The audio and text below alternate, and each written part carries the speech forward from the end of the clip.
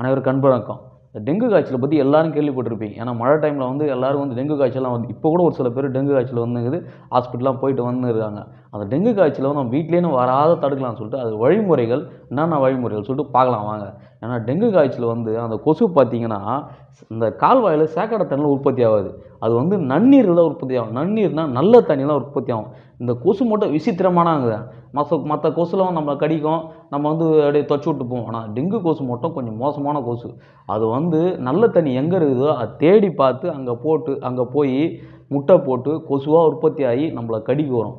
ஏன்னா அந்த கொசு நம்மளை கடிச்சதுன்னா கிட்டத்தட்ட நம்மளுக்கு இருபது நாள் இருபத்தைந்து நாள் நம்ம வந்து ரொம்ப நம்மளுக்கு வந்து உடம்பு டயர்டாகிறாப்புல அந்த டெங்கு வந்து அதிகமாயிடுச்சுன்னா கிட்னிலேருந்து லிவர்லேருந்து கொஞ்சம் பாதிப்படைகிறாப்புல இருக்கும்.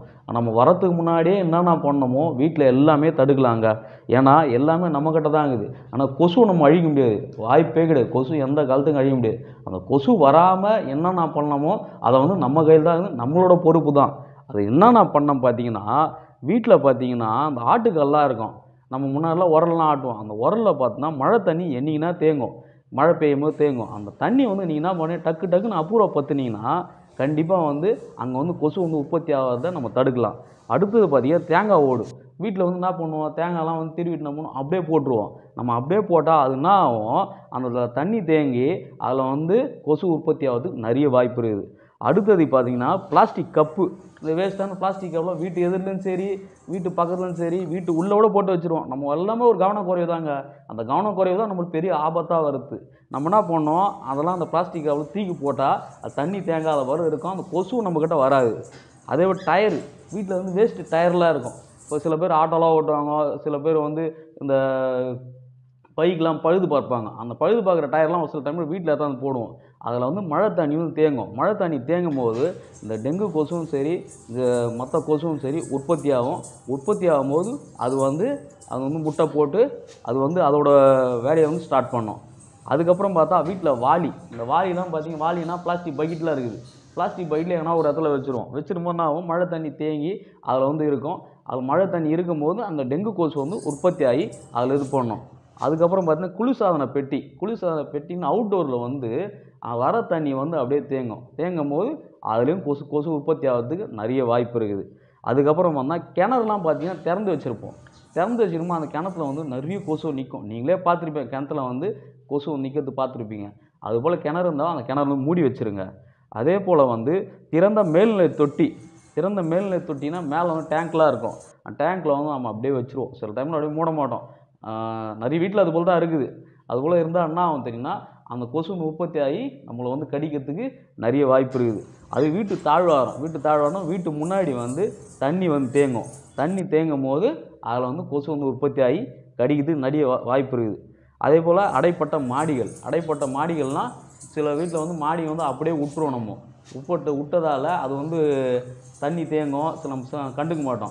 ஆனால் அதில் தண்ணி தேங்கத்தால் பெரிய ஆபத்துலாம் இருக்குது அந்த தண்ணியில் தான் கொசு வந்து உற்பத்தி ஆகும் அது வாழை மட்டை. வீட்டில் வந்து வாழை மரம்லாம் வளர்ப்போம். வாழை மரம் வளர்க்கும் போது முன்னாடி வந்து தண்ணி தேங்குறது நிறைய வாய்ப்பு இருக்குது. அந்த தண்ணி அதில் தேங்கிச்சுன்னா அதில் கொசு உற்பத்தி ஆகி நம்மளை கடிக்கிறதுக்கு நிறைய வாய்ப்பு இருக்குது. இது போல் இந்த இந்த இதுவெல்லாம் வந்து வீட்டில் வந்து நம்ம கரெக்டாக பராமரிச்சுன்னு வந்தோம்னா தண்ணி எங்கெங்கே இந்த இதில் இருக்கிற எல்லாத்துலேயும் தண்ணி தேங்காத நம்ம பாதுகாத்து வந்தோம்னா நம்ம வீட்டிலேயே நம்ம சரி செய்யலாம். கொசு கொசு வந்து உற்பத்தி ஆகத்தையும் தடுக்கலாம். இதெல்லாம் பார்த்தீங்கன்னா வீட்டில் இதுபோல் தண்ணியை நம்ம தேங்க விடக்கூடாது. அதே மாதிரி இந்த கொசு வந்து எப்படி உற்பத்தி ஆகுது பார்த்தீங்கன்னா முட்டை வந்து ஃபஸ்ட்டு வந்து ஒரு நாள் ரெண்டு நாள் முட்டை போடுது. அதுக்கப்புறம் வந்து ஒரு புழு போல் உண்டாகுது. ரெண்டு நாள் மூணு நாளில் புழு போல் உண்டாகுது. அதுக்கப்புறம் வந்து பியூபா சொல்லிட்டு நாலஞ்சு நாளில் வந்து ஒரு சின்ன அதுக்கப்புறம் சின்ன அந்த சின்ன புழுவில் வந்து பெரிய புழுவாக உண்டாகுது. அதுக்கப்புறம் தான் அஞ்சாம் நாளுக்கு அப்புறம் தான் வந்து ஒரு கொசுவாக உற்பத்தி ஆகி அந்த கொசு வந்து கடிக்குதுங்க. இந்த கொசு மட்டும் விசித்திரமானது. ஏன்னா இந்த டெங்கு கொசு வந்து நம்மளை கடிக்குது எப்படின்னா தேக்கடை தண்ணிலாம் தேங்கே தேங்க அந்த கால்வாயெல்லாம் தேங்கே தேங்காது. அழுக்கு நீரில்.